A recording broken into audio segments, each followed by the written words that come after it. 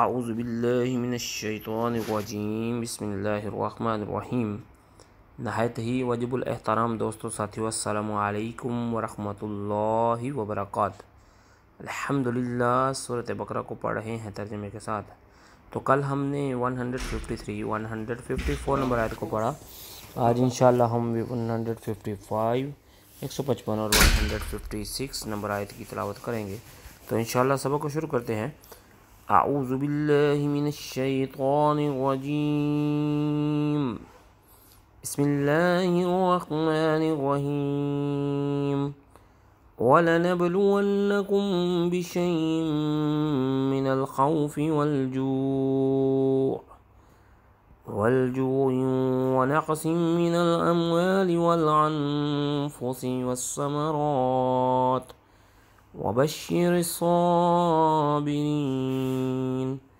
الذين إذا عصابتهم مصيبة أصابتهم مصيبة قالوا إنا لله وإنا إليه راجعون. إن شاء الله ساتھ پڑھتے ہیں وَلَنَبْلُوَنَّكُمْ بِالشَّيْءٍ وَلَنَبْلُوَنَّكُمْ وَلَنَبْلُوَنَّكُمْ وَامَنِعُ لَنَبْلُوَنَّكُمْ وہ ضرور آزمائے گا تمہیں، وَلَنَبْلُوَنَّكُمْ اور وہ ضرور آزمائے گا تمہیں بِشَيْءٍ کسی چیز سے، من الخوف، خوف سے، والجوع اور بھوک سے، ونقسم اور نقصان تھے من الاموال مال کے، ونقسم من الاموال، ونقسم من الاموال اور مال کے نقصان سے والانفسی اور جان سے والثمرات اور پھل سے۔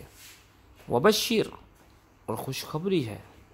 صابرین وشیر الصابرین، صبر کرنے والے کے لیے۔ اور خوشخبری ہے صبر کرنے والوں کے لیے۔ یعنی کیا بات ہے کہ وہ ضرور آزمائے گا تمہیں کسی بھی چیز سے، خوف سے، بھوک سے مال کے نقصان سے اور جان سے اور پھلوں سے۔ خوشخبری ہے صبر کرنے والوں کے لیے۔ اللہ دینا وہ لوگ، اذا اصابتہم۔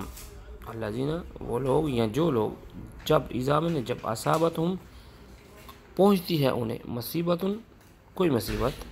قالو تو وہ کہتے ہیں، ان للہ، ہم اللہ کے لیے ہیں، و ان، اور ہم الیہ، اسی کی طرف راجعون، لوٹنے والے ہیں، اور ہم اسی کی طرف لوٹنے والے ہیں۔